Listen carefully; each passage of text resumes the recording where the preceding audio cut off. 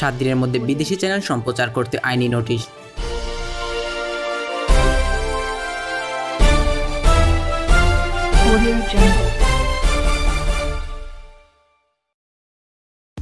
বাংলাদেশের সব বিদেশি চ্যানেলে সাত দিনের মধ্যে পুনরায় সম্প্রচারের ব্যবস্থা নিতে আইনি নোটিশ পাঠিয়েছে এক আইনজীবী। ক্লিনফিট ছাড়া কোনো বিদেশি চ্যানেল সম্প্রচার করা হলে দেশের সব টিভি চ্যানেলও একই ব্যবস্থা নিতে বলা হয়েছে নোটিশে। সুপ্রিম কোর্টের আইনজীবী খন্দকার হাসান শাহরিয়ার রোববার তিন অক্টোবর। তথ্য সচিব মকবুল হোসেন ও কোয়াব সমন্বয় কমিটির আহ্বায়ক এস এম শামসুর রহমান শিমুনকে এই নোটিশ পাঠান। নোটিশে বলা হয়েছে, বিদেশি চ্যানেলগুলোর সঙ্গে ক্লিন ফিট ছাড়া কীভাবে বাংলাদেশ সম্প্রচার অব্যাহত রাখা যায় সে ব্যাপারে কোনো আলোচনা না করে সম্প্রচার বন্ধে হটকারী সিদ্ধান্ত।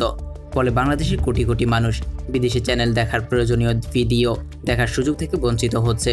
ফলে বিনোদনের অভাব দেখা দিয়েছে। যা সুস্পষ্টভাবে বাংলাদেশের সংবিধান ও মানবাধিকার লঙ্ঘন। বাংলাদেশের টিভি চ্যানেলগুলোর অনুষ্ঠানের মান খুবই নিম্ন, ফলে দেশের অধিকাংশ মানুষ বিদেশি চ্যানেলগুলোতে বিনোদনের স্বাদ নিয়ে থাকে। বিদেশি চ্যানেল বন্ধের ফলে বাংলাদেশের জনগণ, বিশেষ করে শিশুরা কার্টুন, মহিলারা রান্না ও সিরিয়াল এবং পুরুষেরা সংবাদ, খেলা ও রিয়েলিটি শো দেখতে না পারায় ব্যাপক বিড়ম্বনার শিকার হচ্ছেন, যা প্রচলিত আইন পরিপন্থী।